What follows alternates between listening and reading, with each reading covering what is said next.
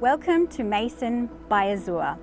I'm here on site today with Guy Walters, the General Manager of Azure Build, who's going to be walking us through everything that's been happening construction-wise in the month of February.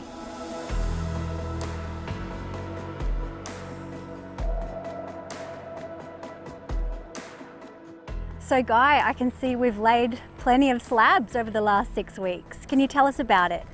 Yeah, so as you can see, um, lots of slabs down. There's 49 out of 55 townhouse slabs poured at the moment. So the foundation's set, ready to move into timber framing and roofing.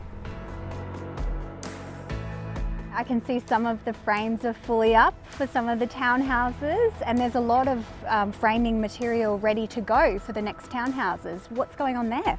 Yeah, so we've constructed uh, a few townhouses now, they're well underway, uh, ready for roofing and scaffolds about to go up. Now we've got a lot of material on site ready to be erected now the slabs have gone down. So we're really excited to move into the next phase of construction. And I've heard there has been some delays with you know, trades and with material. Can you tell us how that's affected your site here at Mason? Yeah, so the industry's been tough lately with uh, material procurement and, and trades with just what's going on in the industry. We've been actively procuring material in advance, so we're a little bit immune from that at the moment. Trade labour is, is an issue at the moment we are moving through that, securing some good quality trades to really move into this next phase of construction. So we've had a few challenges, COVID, supply shortages, trade shortages, and also a lot of rain. So how have you been dealing with that? Yeah, it's been a challenging time in the industry the last six months. Um, we've, we've come up against it with COVID and, and most recently the rain.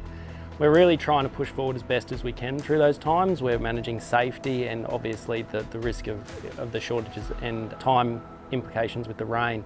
So what does that mean for the purchasers here in terms of completion? Yeah, so, so we're estimating uh, at the moment fourth quarter this year is construction completion. We don't see that moving out any further than that at this point in time.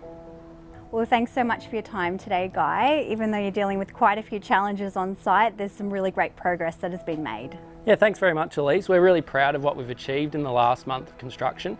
We're looking forward to seeing and showing you what we've got over the next four weeks.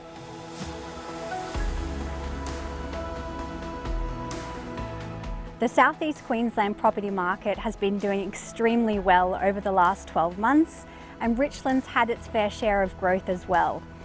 Vacancy rates within our Azure projects within Richlands have an extremely low vacancy rate and the resales are reaching record high numbers. So the purchases here at Mason by Azure have really secured a great investment opportunity.